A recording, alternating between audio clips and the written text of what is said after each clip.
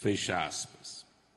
Queridos filhos e filhas da Diocese do Crato, romeiros de todo o Brasil, é com grande alegria que vos comunico nesta manhã histórica que recebemos oficialmente da Santa Sé, por determinação do Santo Padre, o Papa Francisco, uma carta do dicastério para a causa dos santos, datada do dia 24 de junho de 2022. Recebemos a autorização para a abertura do processo de beatificação do padre Cícero Romão Batista, que a partir de agora receberá o título de servo de Deus.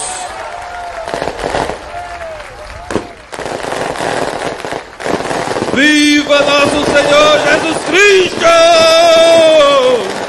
Viva os padres Cícero Romão! Viva a nossa Igreja Católica Apostólica Romana! Viva nosso Senhor Jesus Cristo!